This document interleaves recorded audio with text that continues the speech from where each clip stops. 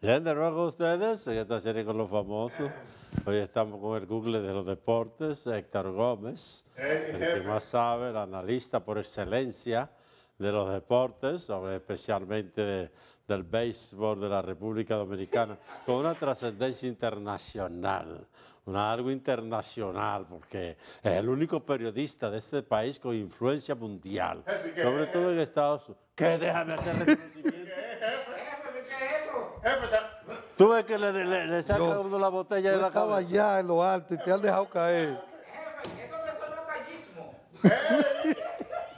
Y esto que le mojaste la mano. Bueno, nada, Carlos, decirte que tus palabras se quedan cortas cuando tengo que reciprocar y elogiar lo que tú significas para este país en términos comunicacionales. Sin dudas que la República tiene en ti el marco referencial y conceptual de lo que es la calidad en toda la extensión de la palabra. Alguien que ha superado Déjalo los ahí, tiempos, ya, déjalo alguien ahí. que ha...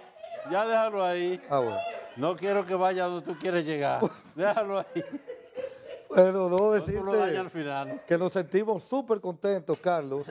Eh, tu buen amigo Adrian Beltré fue entre los tres que fueron electos al Salón de la Fama de Cooperstown. Vi que de manera brillante lo destacaste en la semana y de verdad que me siento satisfecho porque el, majo- el mayor legado que puede dejar uno como comunicador es que tener a personas que como tú pueden emitir elementos de juicio en base a datos y estadísticas que yo constantemente te facilito. Yo te felicito.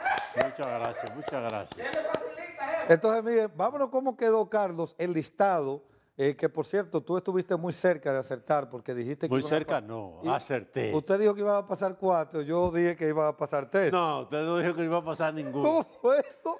Vamos a ver, señor eh, director, cómo quedaron las votaciones. Mira, Carlos, ahí está el porcentaje de A de Ambertré, como tú ves ahí, 97,1, que dicho sea de paso, como lo anticipamos la semana pasada, se convierte en el dominicano electo con el más alto porcentaje de elegibilidad y el segundo latino con el más alto. Recuerden que el líder entre los latinos y de por vida es el panameño Mariano Rivera con un 100%. Luego Todd Helton, y fíjate a Joe Mauer, bien cerquitica ahí, borderline, como dicen, del 75%. Ahí está la lista. eh, fíjate lo cerca que se quedó Billy Los Wagner. que- amarillos son los... lo- los tres que pasaron, exacto. los que. Billy Wagner, el cuarto, se quedó bien cerquita, Carlos. Eh, todo luce indicar que ya el año que viene, eh, porque es la tendencia que se evidencia en las votaciones, va a pasar. Ahí están en la parte final, en los lugares 9 y 10, como Pero veníamos destacando. Adrián se ha quedado jugando ya. Perdón, Adrián se ha quedado jugando. jugando no, él está ya eh, en Los Ángeles. Óyeme bien, aprende. Cuando yo digo jugar, no tiene que estar cogiendo bola. Mm. Es en el torneo, en los torneos, en el equipo. No, él está, por los ejemplo, equipos. él está en Los Ángeles. Allá fue que recibió la llamada junto a su No, yo digo que si está trabajando para algún equipo Ah, bueno, o él, algo él- así. él funge como asesor, me, me parece, del equipo de Texas. Bueno, y, pues, también, está jugando. y también está, está como parte de los directivos de la Liga de Dubái. También ¿La liga? ahí, de Dubái, una liga de béisbol que se llevó a cabo, se está realizando, está en ciernes. Él es de los directivos. Él es de, los de los Inversionista. accionistas, Sí, así es. Entonces, En Dubái. En Dubái. Que por cierto, él me dijo que tú tenías... ¿Quién juega pelota en Dubái? Va para ese. Lo que van de aquí. ¿Eh? Lo que, lo que van de aquí. Vamos a ver entonces la, eh, las fotos, las imágenes, Carlos, el momento. Ahí está Adrián Bertel, uno de los mejores antesalistas de toda la historia. Único, Carlos, tercera base con más de 400 honrones y más de 3.000 hits.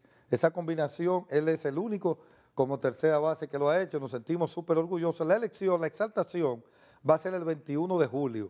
21 de julio allá en Cooperstown, donde hemos estado en las últimas eh, ediciones, cuando Pedro Martínez en el 2015, Vladimir en el 2018. ¿Quién ha estado tú? Y sí, hemos estado ¿Y allá. quién te ha pagado eso?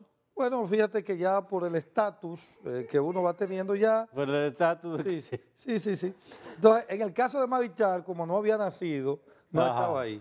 Pero ya don, don Juan fue en 1980. Don Juan no está mirando. Sí, sí, sí. Y como tú no habías nacido, no, si te cuando viene a ver volvió al vientre la mamá este, porque te no nacido.